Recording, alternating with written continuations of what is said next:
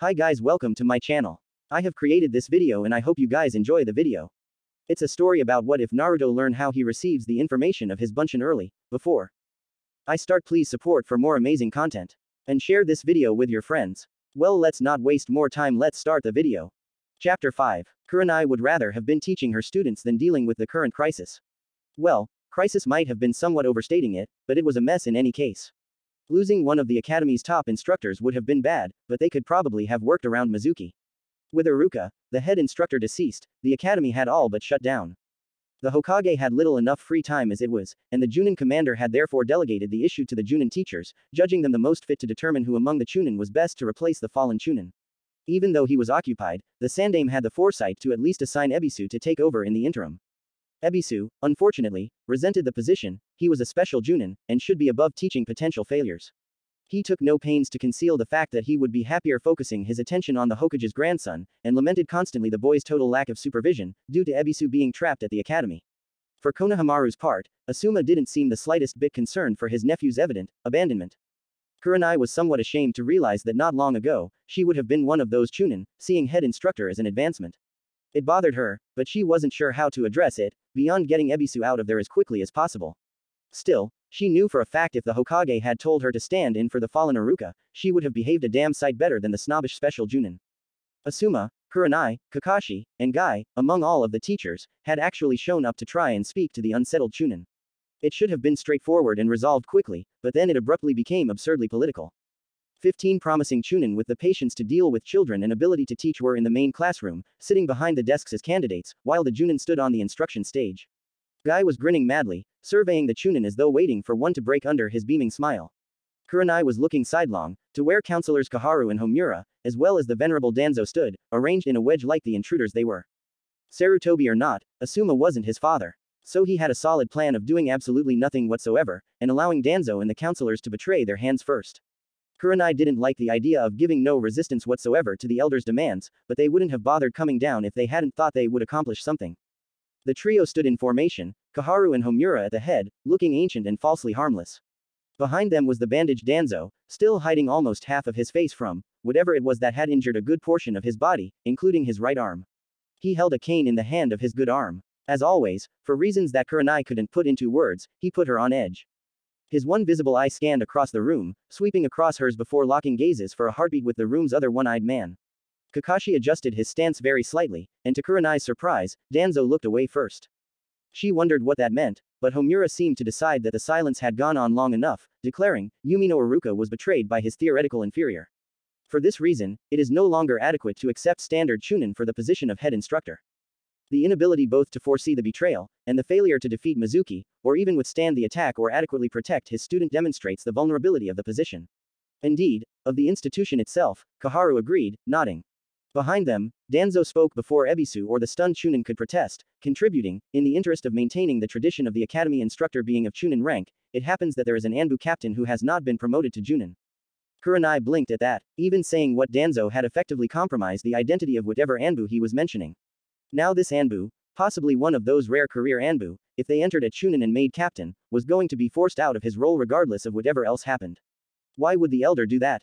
She couldn't hold her silence, so said, I don't think that someone fresh out of Anbu is the best choice for teaching children, captain or not. And we are of the opinion that an experienced Anbu officer is a better choice for the protection of Konoha's future ninja, Koharu countered. The copy ninja spoke before Kurenai could protest further. Well, if that's how it's going to be, that's how it's going to be so, what mask did this Anbu wear? He asked, sounding entirely disinterested. Homura shook his head slightly and said, Horse. He will assume the duties of head instructor later today. Alright, we'll take care of it from here, then, Kakashi said with a shrug. The elders turned and left, satisfied at that. You'll vouch for this person? Kurenai asked, wondering at how easily Kakashi simply dismissed the Chunin, all of them denied a chance at promotion.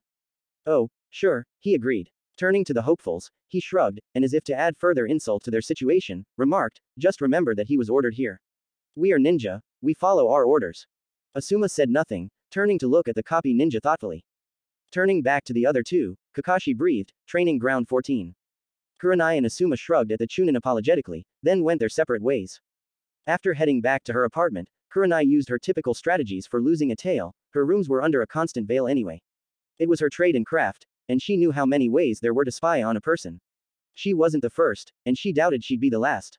She produced a kage bunshin of herself first. This bunshin almost immediately set out under henge, ready to spend the rest of the day doing trivial errands and subtly watching for any observers. She didn't have enough chakra to repeat that one often, but the genjutsu let her have the illusion that the apartment was occupied anyway. After that, she simply used Shunshin to find her escape route, a small obfuscated corner of a nearby market building. The illusion had been tested many times, and to the best of her knowledge, not even Anbu had stumbled across it, yet. She used another Shunshin to reach a distant alley, this one not concealed at all, already under henge before she stepped out of the jutsu. By the time she reached the specified training ground, she was fully in the guise of any of a number of nameless academy students. Amusing herself by practicing kunai throws, with the feigned skill of a child her seeming age, she finally became aware of Kakashi's presence in some nearby bushes. Asuma's eventual arrival some minutes later from the opposite direction was unstealthy by comparison. Then again, he might have used some wind sensing jutsu to detect them from a distance, he could be sneaky like that. She took a small amount of pride in the fact that Kakashi actually lifted his Hitai to study her for a moment. At least he had to use his Sharingan to see who she really was. Then she realized that he might instead be trying to copy her technique, and immediately released it. That was remarkably overt, even for Danzo, Asuma said thoughtfully, frowning. Kakashi nodded at that. Something doesn't seem right about this to me, he agreed. Well, you're the former Anbu captain among us, Kurenai reminded him. You know this horse character, right? Quite well, but I can't fathom the motivations, or what this accomplishes, other than removing one Anbu from the ranks. So, you don't buy into the safety of the children byline. It's a load of crap and everyone in that room knew it, Kakashi sighed. I served Anbu detail watching Naruto on occasion when he was younger. Though he didn't mention it, Kurenai suspected that some other aspiring orphans were watched the same way, otherwise it would be too easy to approach one and offer training to subvert them away from Konoha. More likely than not, Sasuke had received the same covert guardianship. The elders show false concern for the boy's well-being. Danzo has never concealed the fact that he believes that Naruto represents only danger to the village. To say that they're motivated to place an Anbu member in the academy as instructor is a result of him being at risk. He shook his head. Not for the first time, Kurenai wondered what the connection was that Kakashi seemed to think he had with Naruto. Was it concern? She'd heard the story of their encounter, at least. She could understand the boy's side of things, but for Kakashi, why did he seem so bothered that the boy didn't like him? She somehow thought it extended far beyond an assignment or two to watch from the shadows behind an Anbu mask in Naruto's academy days. As much as it bothered her to admit, that wasn't the main concern at the moment, however, especially if Kakashi was hinting at greater dangers for any of the students. Is there anything this person knows or something they have that could bother Danzo? Asuma wondered. Or one of the other elders. Kakashi's eye flicked away. Within Anbu there are no true ranks beyond Anbu, an Anbu captain. At the same time, there is a hierarchy. Certain roles go to those with greater seniority and experience. I don't think it would be right to tell you everything I know about a fellow Anbu captain. And I can tell you nothing further without speaking an A-rank secret. We are both Junin, Kurenai replied. I believe we're cleared. Kakashi made a noise that was difficult to decipher for a moment before shaking his head. Danzo heads a subdivision of Anbu called Root, their purpose is the training of all new Anbu. This Anbu captain was aspiring to become a member of Root, to train new recruits. Like myself, he was recruited before Root was formed. I know he has worked very hard to try and attain that position. Evidently, this is Danzo's response to an experienced and very capable ANBU's request to become a trainer. Kekkei Genkai, Kurenai guessed. Yes, Kakashi allowed. I cannot imagine how it would be applicable to the situation at hand, however. Asuma nodded knowingly, then leaned slightly towards Kakashi, saying almost in admonishment, then perhaps we can. I'm positive it has no bearing, and everything aside, let's leave it at the fact that I consider this person to be one of the two most trustworthy Anbu I know. Then the most obvious solution is that Danzo doesn't like this person and wants them removed from Anbu, and this just provides a convenient opportunity, Asuma sighed, rocking back on his heels to stand upright. Perhaps it's just a battle-scarred ninja's superstition, but something feels wrong about this, to me, Kakashi said, shaking his head. I'll admit, it doesn't sit right with me either, Kurenai agreed, offering a sympathetic shrug. But what is there to do? Kakashi drummed his fingertips on the training post that Kurenai had been using for target practice. I don't know, but for the immediate future, I think we should try and put off getting C-rank missions for our genin if they involve much of any travel. Until then, the genin are our main concern. We have even more cause to try and encourage them to be the best ninja we can make them, now. I have to say, when Anko's not around, you say some insightful things, Kurenai mused. He masked his discomfort at that with a shrug. She brings out the worst in me. She pursed her lips, studying him for a moment, while Asuma nodded knowingly, probably guessing what she was about to say. The best, too. Looking sharply away, Kakashi said, on that note, this whole thing cost us a day of working with our students. Since it's a wash anyway, I'm going to try and meet up with an old Anbu contact. Your friend with the horse mask? Kurenai pressed, raising an eyebrow. Bear, he answered. After that, he vanished in a whirl of leaves, and she heaved a quiet sigh. Asuma shrugged, seeming unconcerned as he lit a cigarette. Well, he said after a thoughtful puff, how about that? Kakashi opened up enough to share an A-rank secret. I see it more as a sign of concern than trust, really, the Kunoichi disagreed. The man grunted, offering a nod. We ought not look for trouble. And, in the spirit of reciprocation, as water seeks the path of least resistance, we should return this issue to those who last left things to us. She squinted. Another clever way to be lazy. So, tell the Junin commander. Then, too, Asuma noted, pinching his cigarette off and flicking it away, should we not report our concerns to our superiors? Sarutobi Hiruzen leaned back in the chair in his office and frowned at his son, and at his side, the thoughtful-looking Shikaku. After a contemplative puff on his pipe he sat forward, tapping it out and setting the thing aside. He had entrusted Shikaku to accomplish his assignment, not pawn it off on the Junin. Really, the Nara clan head was a sharp man, brilliant, absolutely a Kage-level strategist and planner, with levels of insight that Asuma's years of honed meditation couldn't touch. The Hokage had fully intended that intelligence go towards selecting a worthy successor for Iruka. On the other hand, Danzo wouldn't have pulled his stunt so openly in front of Shikaku. He would have waited, pushed with his allies and supporters, especially Sarutobi's private council. And it wouldn't be the first time Danzo had forcefully pushed for rearranging personnel as he saw fit.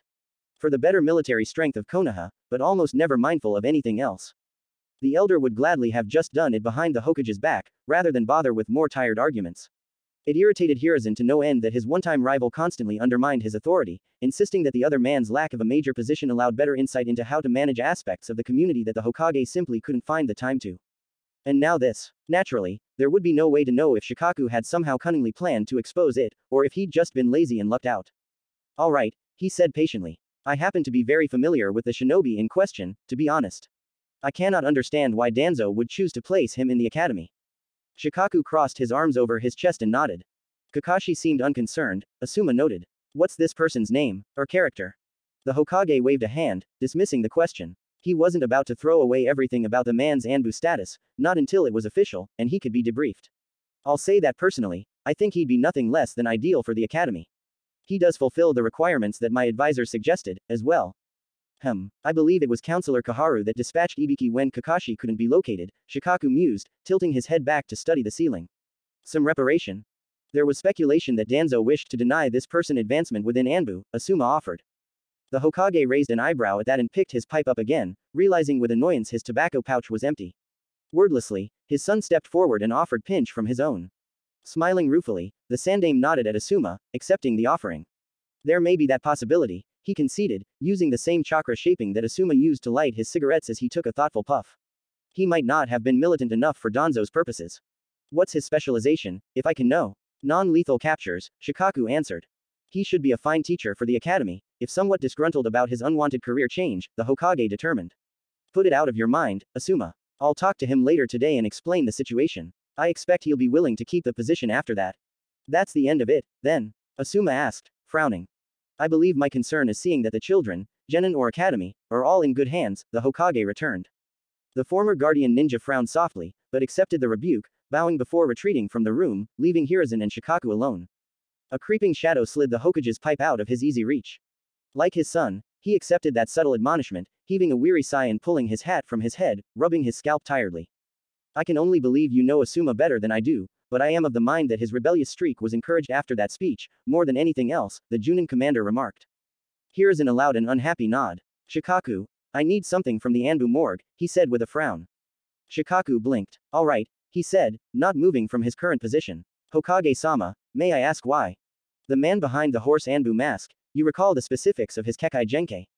The Nara clan head looked thoughtful before replying, it's a curse condition, right? Something that causes his body to reject all other curses and curse seals. Rubbing at his scalp again, letting his eyes drift closed, Hiruzen sighed, admitting, and we only know that thanks to Orochimaru's experiments. I can only hope that his banishment from the Anbu ranks has nothing to do with that Kekkei Genkai. Shikaku moved some pieces around on his mental strategy map, giving a slow, thoughtful nod. I'll get Ino and Choza. How do you want Mizuki's remains? Cremated, the Hokage said distastefully. I'll mix the ashes with ink and form a sealing array. Exactly the kind of thing he wouldn't have had time to do, if he couldn't trust the rookie nine's teachers to watch over them. Still, with their strange arrangement, he felt that this would be the best possible use of his time. Within three hours, we should be done, back here, and no one aside from us and yourself will know, the Junin commander promised, bowing. The Hokage nodded, glad that there were still those he could trust. Kiba knew that he was frequently considered to be slow, and that he'd missed more than his fair share of lessons when they were in the academy. Well, most of that was because Akamaru couldn't just wait all day every day for lessons to end, he had to run and play. And so did Kiba. He worked his clan's taijutsu his hardest, because the truth of the matter was, it was one of those things he and Akamaru could do together. So that, Akamaru's sense training and Kiba's own sense of scent and hearing had been honed remarkably in the same exercises, and everything else was avoided whenever possible so that he and his partner could be together. And, you know, having fun. That didn't hurt. Given a choice, and knowing that the situation was fairly dire, all nine of them had to pass or fail. Well, he'd been Naruto's friend before. He could agree that Sasuke was just being a prick to say that Naruto had gotten Iruka killed. Kiba hadn't ever killed anyone, either. He knew he was better at taijutsu than Naruto, even full out, most of Naruto's Bunshin were a minimal threat, at best, but then, the Uzumaki boy could have swarmed over Kiba at any time during the training exercises they were doing. And that had happened a handful of times already. When Choji was there, Kiba could just leave his back to the larger boy and focus on a cone before him, which meant he only took a few hits.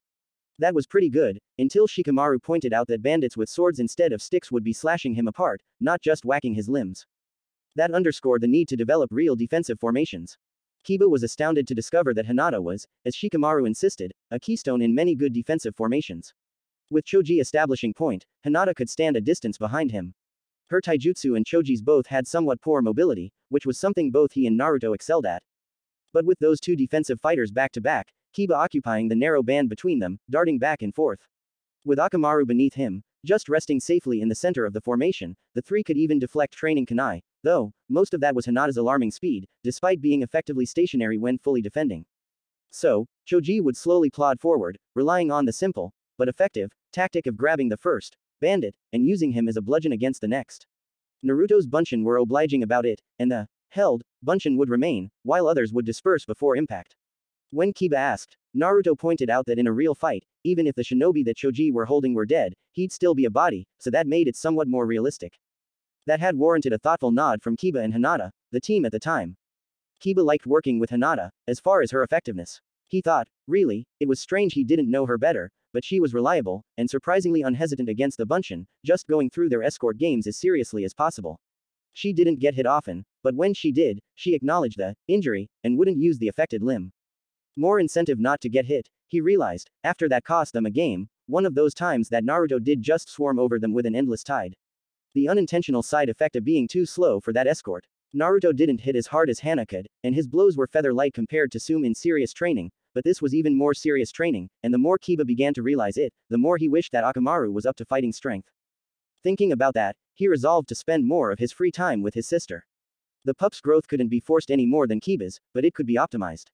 And there was no way he wasn't going to do his best for his partner, just like Akamaru annoyingly reinforced Tsume's demands that Kiba finish his vegetables at dinner. Damn soft foods. But then, he was probably the toughest of all the genin in the rookie nine, and the biggest too, save Choji. And he could console himself with the fact that he was faster, too. So, after the latest escort mission, this one a success, Kiba sniffed at the giveaway floral scent of an unexpected fellow genin. Akamaru sensed it, too, turning his head to face the side of the training ground where the castle was. Currently, everyone was sitting inside the square, recovering their breath.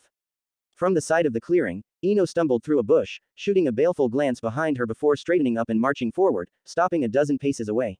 What are all of you doing, anyway? Isn't today supposed to be a day off? She asked, crossing her arms over her chest and giving a suspicious gaze across the other six genin. Shikamaru patted the hitai-ate on his armband. Some of us want to make sure that if we fail, it's not because of anything we did, he answered.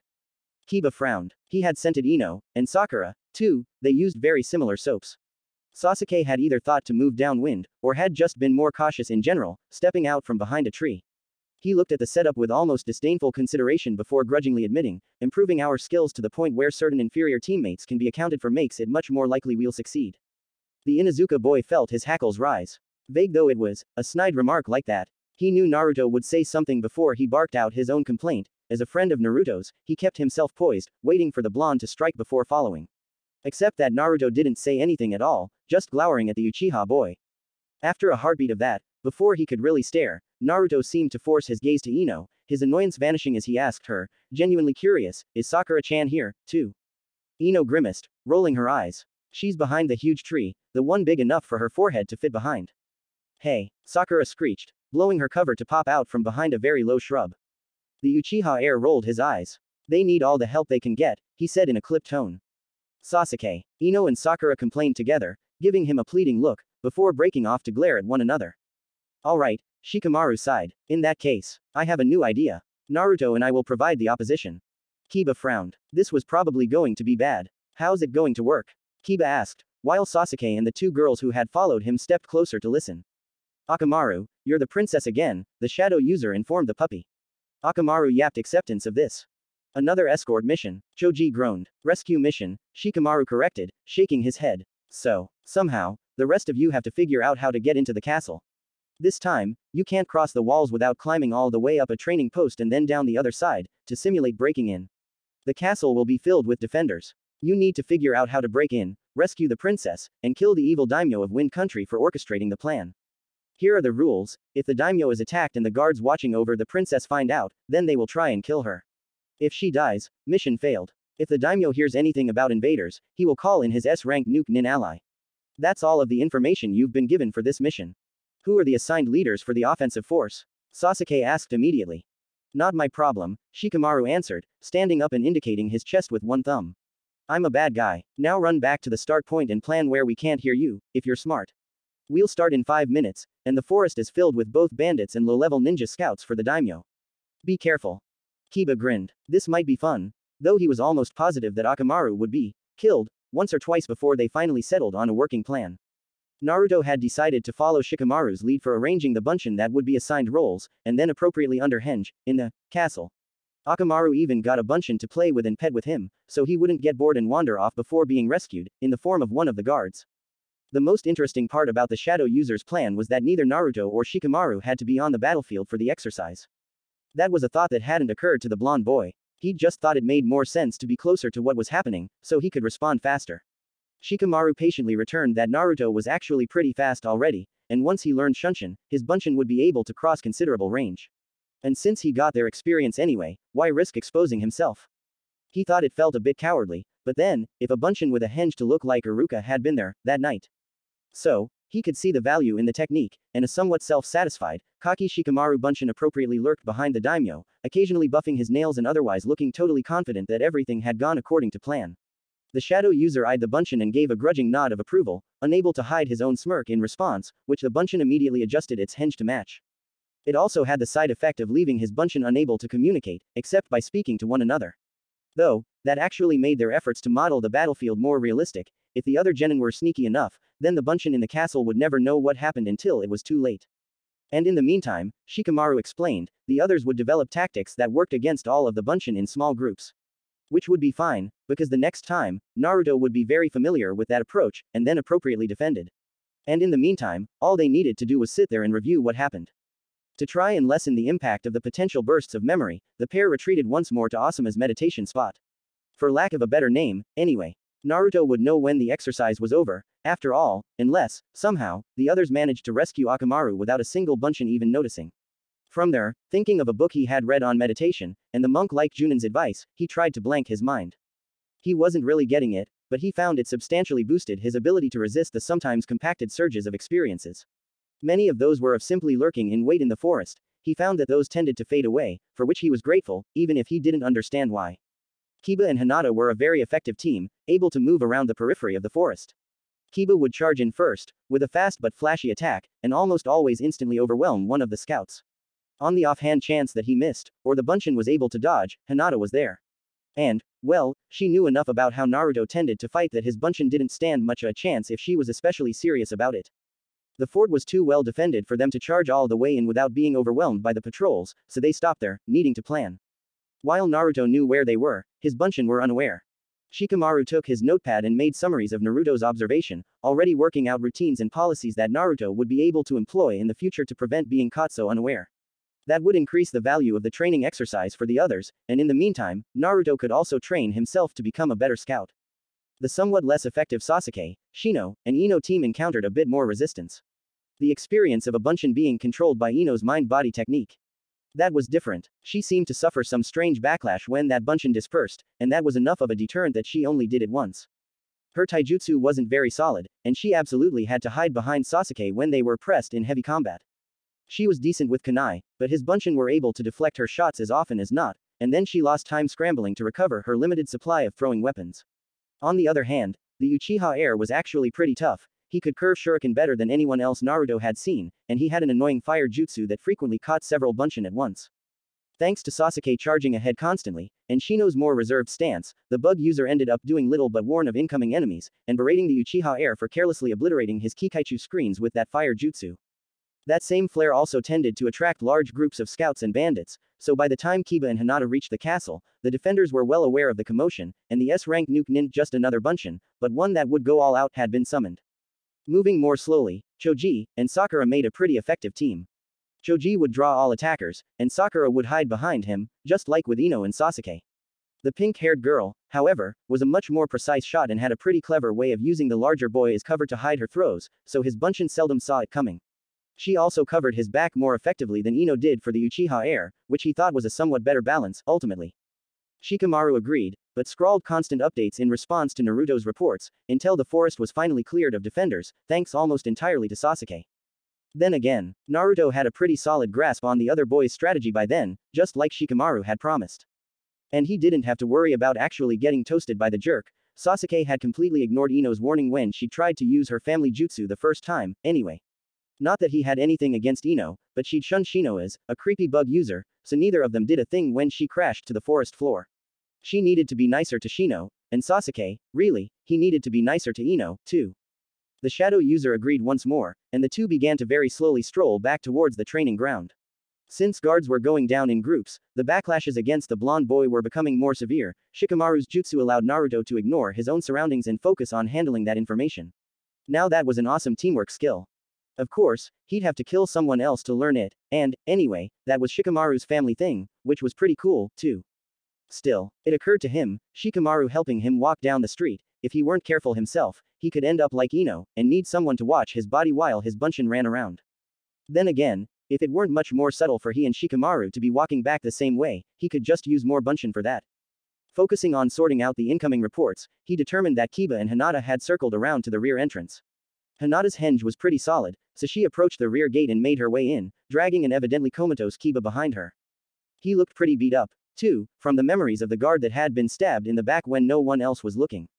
Sakura and Choji arrived shortly after, trying the exact same gambit. Surprisingly enough, Sakura could drag the larger boy while under a henge as one of the guards that had been lost in the forest. That strength seemed realistic, but the Shikamaru Bunshin, trying to act like the shadow user, said that was too simple, something wasn't right about two opponents being captured so easily. All of the Bunshin began demanding the secret password that Shikamaru suggested they arrange in advance.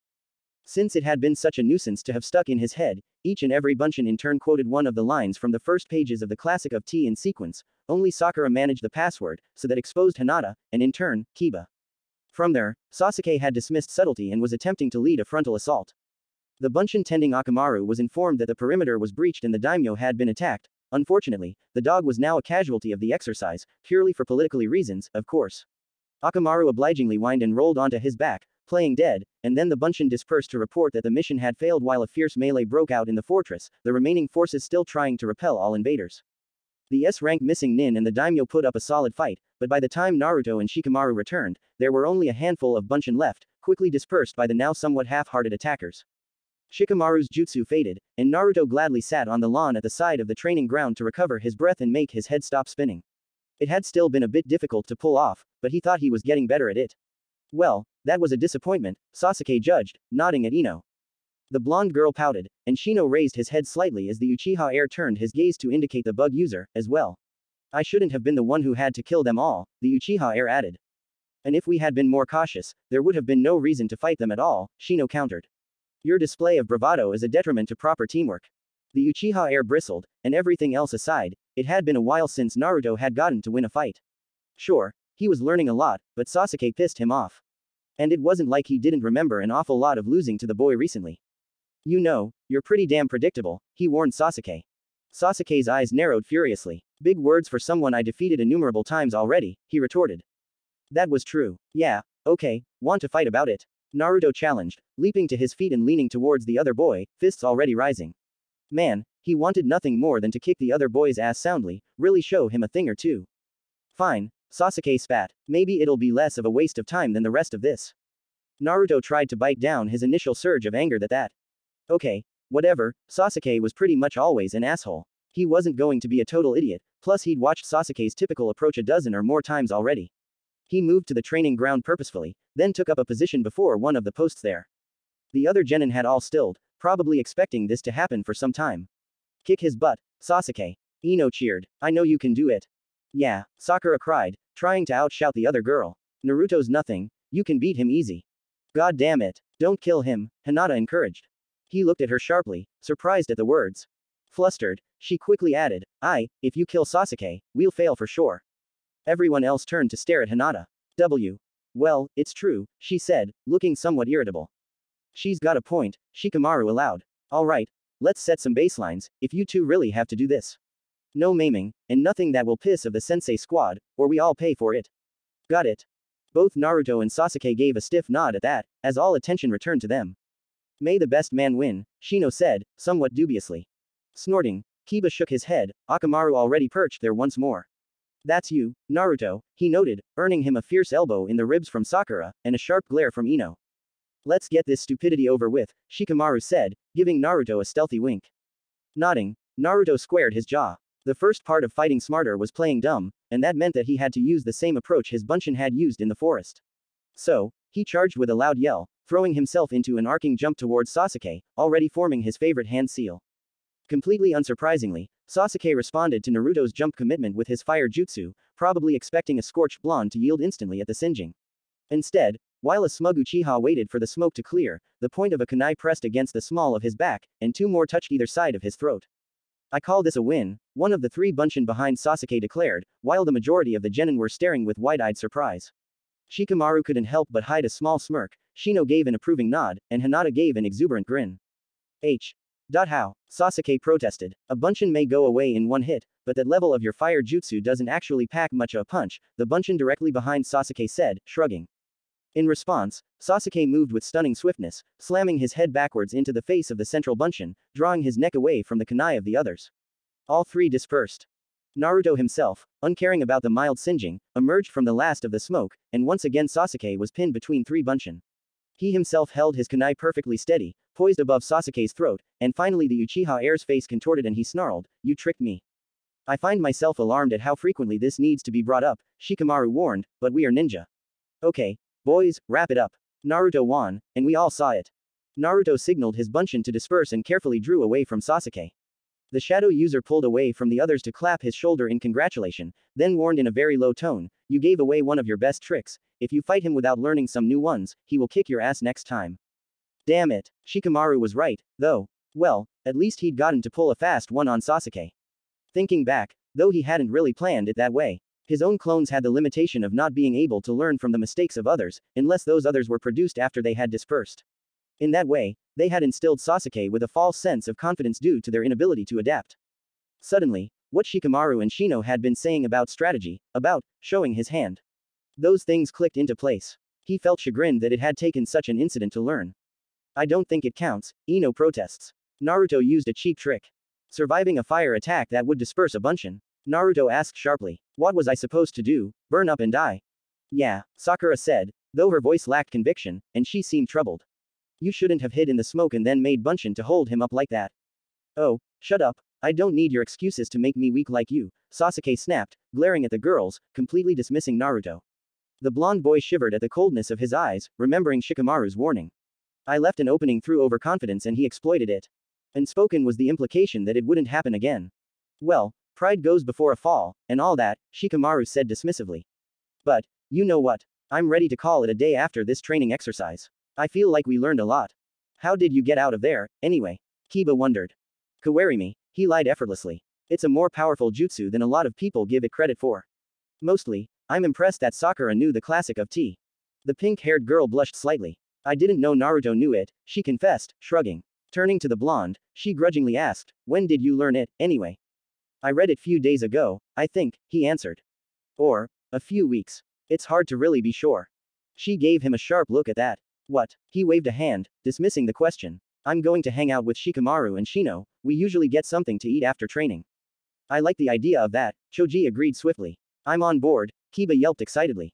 Ino wondered, Senzo's, Sasuke grunted wordlessly and walked away, back to Konoha.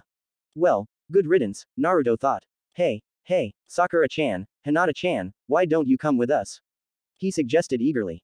Yes, okay, Hinata agreed without hesitation, moving to his side with a bright smile. Um, will we be practicing taijutsu, later? Yeah, I guess I'll go, Sakura sighed reluctantly, her gaze following Sasuke as he slipped between the trees. Anko couldn't help but grin at the antics of the Chibiukai in his training exercises. They were actually fairly inspired, and that Naruto kid, he'd been below her radar, before, but now that she'd gotten to see him in action. Ooh, him and the Chibiukai would be all kinds of badass together. She had no idea what the other teachers were up to, but if the genin were going to get together anyway, she decided her time was best spent watching them. She especially liked the way that Naruto had handled Sasuke, that had to take some growing. And since he was so worried for Naruto, Kakashi should be happy, too. Though, in the other coils, the Uchiha kid wasn't likely to respond well to that treatment. Well, with some grooming, the two should become proper rivals, not bitter foes. Kakashi should be able to help with that. There might be a few broken bones and split lips, but she suspected the pair wouldn't really kill one another, Hinata's charming little judgments aside. Naruto would always want to prove himself against the Sharingan user, and Sasuke would grudgingly acknowledge that Naruto was an effective, if unconventional ninja that he'd feel a need to surpass. So that didn't bother her. There wasn't an initial plan to hide her observations from the other Junin, at least, some of them. But the way that Kurenai dismissed Shikamaru had somehow irked her. And that was fine by Anko, she was more than willing to let the Genjutsu mistress get bitten in the ass. She coddled her charges too much anyway. Given a chance to watch the genin in play, she didn't have a lot to add to any of their observations, aside from the fact that Naruto seemed to be keenly aware of his genuine combat ability, and intensely motivated to improve that. His use of Bunshin constantly in training, Anko had heard of the practice, and once or twice tried to use it on chakra manipulation exercises. But remembering the experiences of doing a single task twice only made it more boring. Either Naruto had an unusually resilient mind to absorb the constant experiences he was generating, or he was going to push himself to some horrific madness. Maybe even become one of those bizarrely powerful psychotic ninja with a personal loyal crew of remorseless killers. He just needed an obsessive kunoichi or two willing to give her life for him, and hell, with Shikamaru backing him, that was the basis for the kind of insane genius that started a shinobi war. Yeah, she could see why the Hokage wanted this group watched, but what fun. Once he got over whatever trauma there was from the circumstances of his promotion, and his original enthusiasm was rekindled. He could take his existing sneakiness and drive to prank and multiply it, yeah, that could have reaching consequences. Ah, maybe that could be tempered by assigning him a teammate with a bit less spunk, someone he'd have to watch over and protect. Not Sakura, because she needed to develop her own strengths, and Naruto had a crush on her. So, Ino was a great candidate for that, her style was going to require someone who could support her. And the blonde boy was likewise an ideal choice for that, given he could leave a Bunshin to watch over her, or play sneakier and watch over her himself while using his Bunshin to fight. For him, protecting the blonde would be practically incidental, no genuine impact on his efficiency. She'd need to see if she could convince the Junin crew to put the pair into a team, and soon. In fact, pairing her with someone who made a capable partner for her might give her a chance to shine over Sakura, something positive to start a more productive rivalry between the two of them. Not for the first time, she wished she hadn't been forbidden from interacting with the children. It would be pretty straightforward to take down Sakura and Ino and slap some sense into them. Withholding an antidote could provide so much motivation. Come to think of it, she'd better nag Kurenai about a very important talk with the Kunoichi trio about the dangers of being Kunoichi, instead of shinobi. Or maybe she could spread it around, make the boys listen in, too, that would be funny to watch. And Kurenai would be put through the awkward discomfort of having to explain it three times. And that was when she realized that she was feeling vindictively bitchy because Kakashi had deserted her. Had she somehow gone overboard somewhere she hadn't realized? Actually pissed him off when she thought things were, weirdly, starting to kind of sort of actually work out. Fuck. How had that asshole gotten into her like that? She thought she was better than that. And here she was starting to feel happiness while playing. House, with the one-eyed O, Bastard Sensei was a worthy title indeed. After reaching Shikamaru's house, Naruto was disappointed, along with Hinata and Shino, to be turned away. For whatever reason, an irritable Shikaku immediately ordered his son to the family training ground, insisting that it was time to work on his clan jutsu. The shadow user shrugged and obediently followed his clan head's order. Shino remarked that it might be opportune to see if he couldn't approach his own family for training, since he'd spent so much time away from home. Hinata then wanted to train, but even though it was early afternoon, she was too tired. She'd earnestly began the first attack, and then just stumbled into Naruto in a faint. When she roused, she insisted she try again. Naruto wasn't positive, but he was starting to suspect that she was pushing herself too hard, somehow. So, he told her she should rest, because real ninja wouldn't want to keep themselves exhausted. After both reflexively looked around for another of Bastard Sensei's exploding tags, Hinata had reluctantly agreed to go home and get some sleep, and Naruto had walked her there, encouraging her that whatever else happened, they had one more day of being on a team together. She seemed cheered by that, and sleepily promised that they would practice even harder the next day before yawning and stumbling through the formidable gates to her family's estate.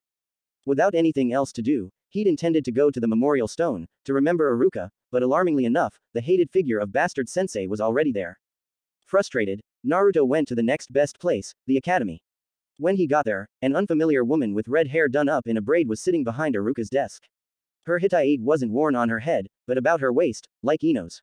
A pair of subdued blue eyes flicked up to meet him before going back to the paperwork on the desk before her.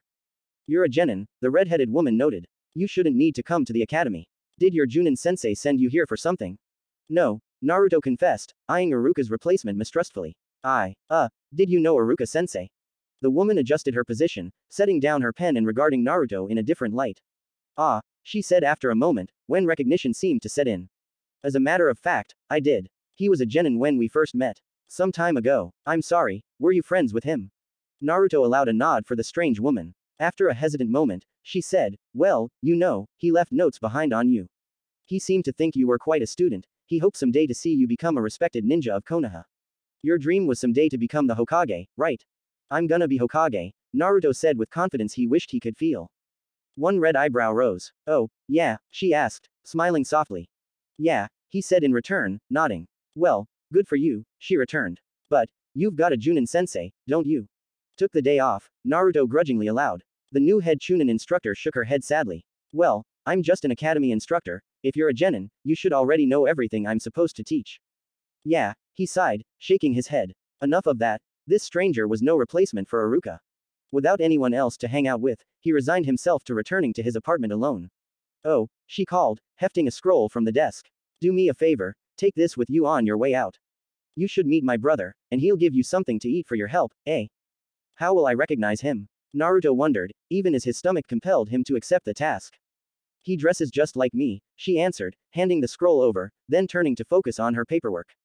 Nodding dubiously, the blonde wasn't really surprised to run into a man who did in fact look remarkably like the redhead, except his hair was dark, his eyes were gray, and he was slightly taller, filling out an identical outfit in different ways, though he, too, wore his hitai-ate as a belt. Yo, he called nonchalantly, striding past Naruto. Wait, he called, waving the scroll. Your sister said to give this to you. The man raised an eyebrow after pausing, then accepted it. Ah, he said, nodding. Alright, thanks, then, what's your name? Uzumaki Naruto, he answered proudly. Huh, alright, Uzumaki, come with me for something to eat to pay you back for that. For the promise of food, the blonde fell in step beside the man, watching him close and lock the academy building's main door. After the door closed, a snooty-looking man with dark glasses rounded the corner of the building from the direction of the Hokage's tower. I say, he said, giving Naruto a cold-eyed glare. Turning his attention to the Chunin, he sniffed, handing over a stack of paper. These are from Hokage-sama, for you to process. Thanks, the man said dryly, accepting the paperwork. What's with the attitude, Ebi-chan? Naruto laughed aloud at the Chunin openly mocking the man who looked to be a special Junin. Ebi-chan, stiffened visibly, his glare heating up and focused completely on the dark-haired man. Don't be so proud, Quanji, he snapped. I do outrank you. Ask me if I care, Quanji replied boredly. The Hokage confirmed my assignment here personally. If you want to fight about it, let's make it quick, I want to eat. Ebi-chan, sneered and whirled away, vanishing in Shunshin. Naruto blinked and eyed the man at his side. What's that all about? He wondered, still chuckling. Oh, I don't like how he behaves, Quanji replied lazily. He's a crappy role model, and a total idiot about keeping S-rank secrets. The blonde jolted at that reminder and fixed the dark-haired man with a suspicious gaze. Oh, I was there, so I remember, he added softly. No one else was immediately around, and one of the man's hands shaped some subtle seal, a mild gust of wind bore down around them, leaving them unaffected but masking their words from the nearest bystanders. So, I know who you really are. You're the one who keeps it safely locked away. You may just now be a genin, but you've defended Konoha almost as long as you've drawn breath. He winked at that, showing a mild smile. And Naruto couldn't help but feel slightly warmed by that recognition, and an utter refusal of Mizuki's words. The wind jutsu faded and Naruto sniffled, falling into step behind the teacher. And that sentiment, it echoed Iruka's, too. Well, he and his sister together, maybe they would be half as cool as Iruka. And maybe Naruto could even forgive the guy for taking him to eat okonomiyaki instead of ramen. He seemed alright, and thanks to that, well, he didn't have to be alone. That was alright, he supposed. Better than the alternative, anyway. Vaguely haunted by Danzo's inexplicable pressure, and the fact that she knew nothing about the circumstances around it, Kurenai had found herself sleeping poorly. Asuma offered almost nothing in the way of assurance beyond a vague supposition that they shouldn't worry about things they couldn't affect. Which was not at all reassuring. Anko had been there, too, needling Kakashi especially, for whatever reason. The one-eyed Sharingan user himself was somewhat subdued, wordlessly accepting the special Junin's unsubtle jabs. The Genjutsu mistress was beginning to regret suggesting she was a positive influence, and Anko had been strangely demanding with regards to placing the genin in the next rotation. When Asuma questioned why, Anko had gleefully offered a deluge of information regarding the Rookie 9 undertaking a joint training exercise without any external prompting. Even Kakashi didn't bother concealing his surprise at that. Sashi arrived at the meeting site for her students and waited for Sasuke and Hinata. Naruto had arrived very early, looking strangely forlorn, then sat tiredly on the ground nearby his teacher, waiting for his fellow students to arrive. Sasuke showed up next, eyeing Naruto warily. Running up, looking embarrassed and huffing for breath, Hinata was the last to arrive, nearly five minutes late. Hinata-chan, Naruto exclaimed worriedly, jumping to his feet. What happened? Are you alright? I just, overslept, she confessed with quiet shame. You, um, I guess I, overdid it a bit. Sasuke snorted, rolling his eyes and shaking his head. Well, today shouldn't be too strenuous for you, but it is important to make sure you sleep properly, Kurenai warned, trying to give her students an encouraging smile, not betraying her concern about the unknowns. Today, she continued, surveying her charges, we will study conduct. She launched into the lecture she had already become tired of, then brought out the leaf exercise. When Naruto sighed and accepted the leaf without complaint, she suggested that this was a precursor to learning to walk on trees, and then walls, and eventually, water. That encouraged him enough to focus, though to her senses he was hemorrhaging chakra when he did. Hinata and Sasuke were both solid in their execution of the exercise, though Hinata showed exceptional refinement. Except, Naruto couldn't focus himself on the leaf and listen to the lecture. Sasuke snorted at him derisively, and in response, Naruto simply spawned a bunshin, which borrowed his notebook and pen, taking notes while the real Naruto turned his back to Sasuke and focused on nothing else but the leaf. She didn't want to encourage such behavior, really, but she was supposed to be the nicer teacher, and she had to admit, it was the best benefit he'd get out of the exercise. It would also prevent him from falling behind the other genin, to say nothing of the fact that it was a valid technique, and he really could do the same in the field. He was also proud to show off his remarkably improved henge, which she hadn't expected. How intense was the training they had opted to do without supervision, anyway? For some reason, she thought Anko hadn't said everything that had gone on. Kurenai encouraged him that he really had gotten better, and then reminded him to work on his kawarimi as well. He fervently agreed, creating another quartet of bunshin, just to run out and then practice the technique on one another at the edge of the training ground. Sasuke watched intently, until his focus was brought back to the lesson. She really hoped that through this all, she was at least making some positive impression on the three, and especially in Naruto's case. But she knew one thing, her agitation hadn't settled in the slightest. Being forced to attend Bastard Sensei's training with Ino and Sakura was a decided nightmare. The two were slowly putting effort into at least getting along, and with him around, their ire was focused more on him than the other. Which he considered a sort of compromise, if not at all what he'd hoped for. Kakashi had as much sympathy for him as he had for the girls. Net result, constant painful collisions against the girls, since there were no Naruto Bunshin around to throw him into. The girls were likewise tossed at him, or one another. Shikamaru tried to retreat with the girls to strategize. Explosive tags. Real ninja should have better coordination when needing to escape from overwhelming force, my cute little students.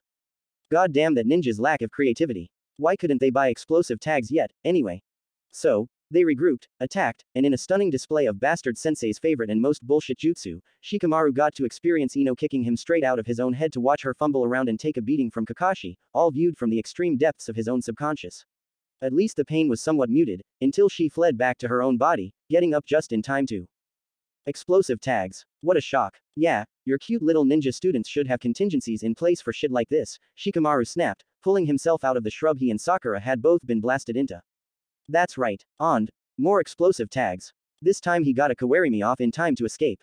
Couldn't say that was entirely undeserved. After that, determined that they were going to be tossed around constantly anyway, Ino and Sakura began their sniping at one another.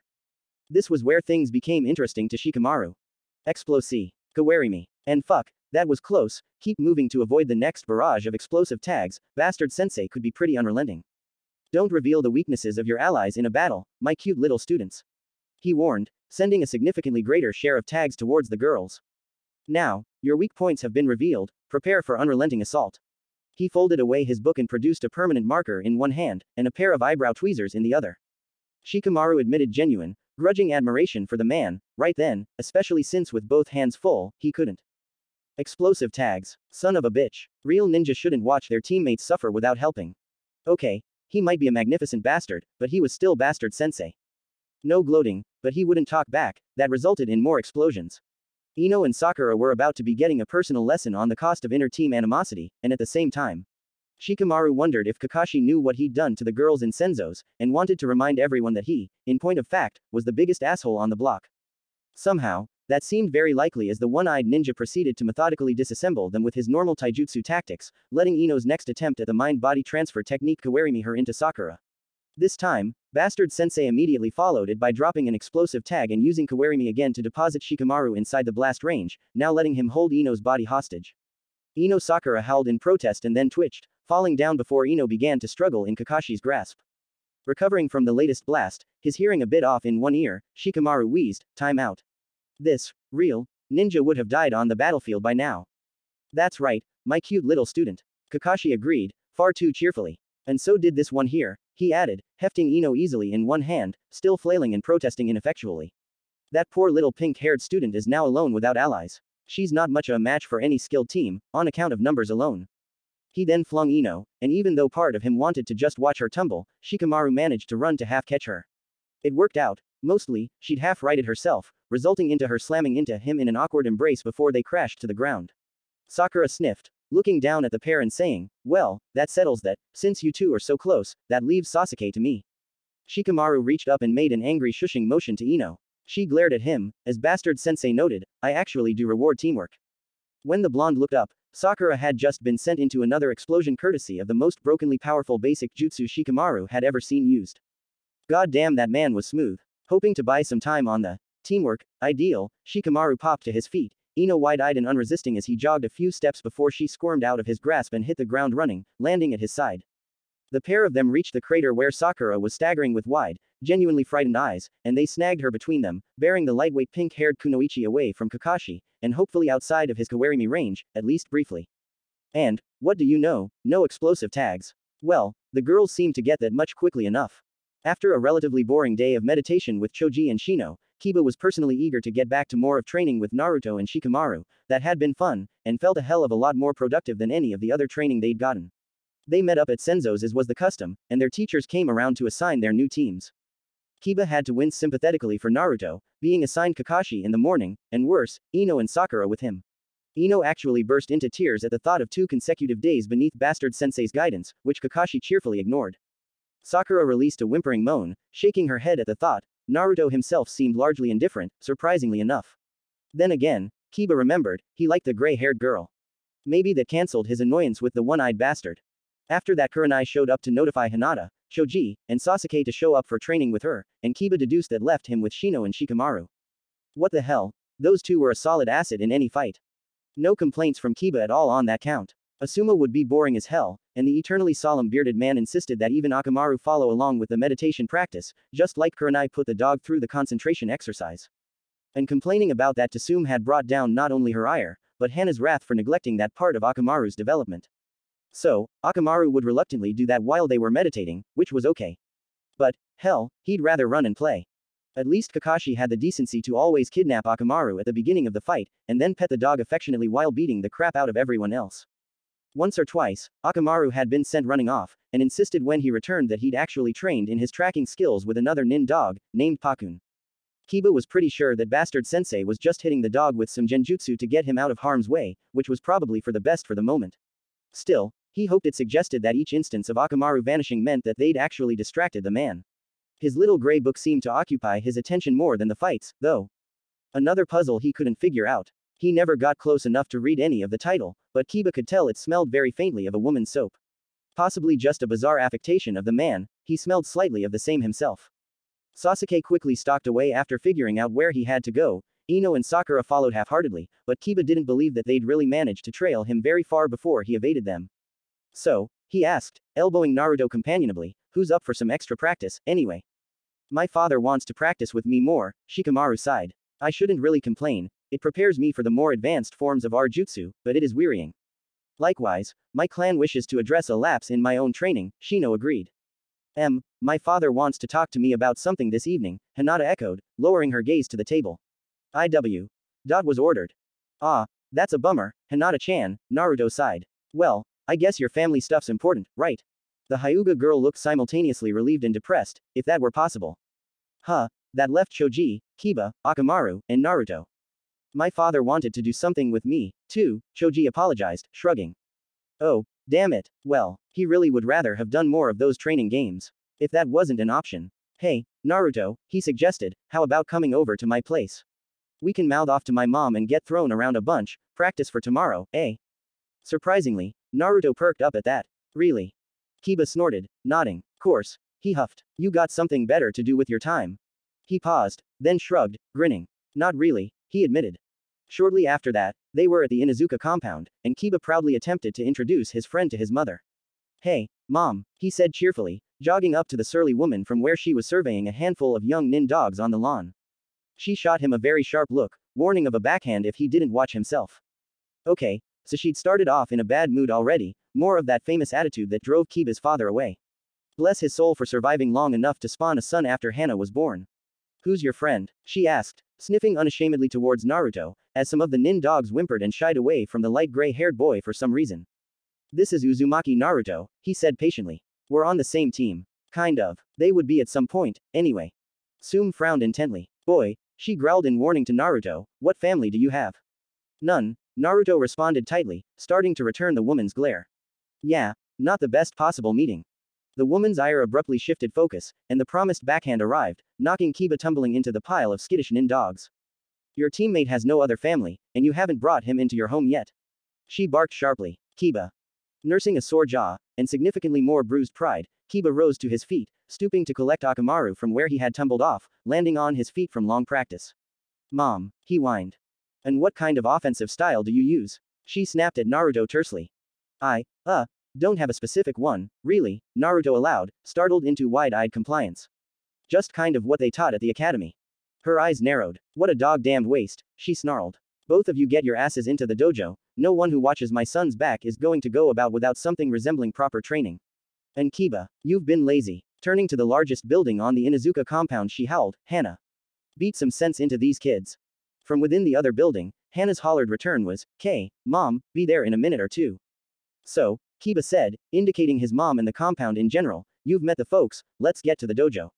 That in mind, he gave Tsume what he considered a reasonably cautious berth and circled around towards the training facilities. Cowed and confused, Naruto followed the other boy. I, is your mom always like this? He asked Kiba. The Inuzuka boy snorted, rolling his eyes. This is a good day, Hana's a hell of a lot nicer than my mom. Naruto looked as impressed as he should have at that. Kiba knew he was from a tough family, and he was proud of it, just like Akamaru.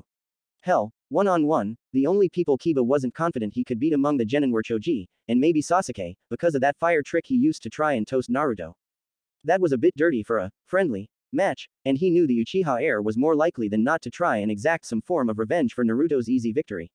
But, hell, Naruto was not just a friend, he'd been a real asset, if a strange one, to everyone's training.